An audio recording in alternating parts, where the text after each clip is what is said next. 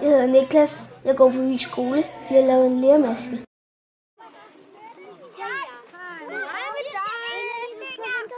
Det er når solen kommer her i foråret, at planterne vokser. Og det vidste man også i bronzealderen, så derfor var solen det allervigtigste. Og det var altså det, man tilbad. Ja, det må hun også gerne, ikke også? Øj, der var mammuten. Hvad er det, vi skal tegne?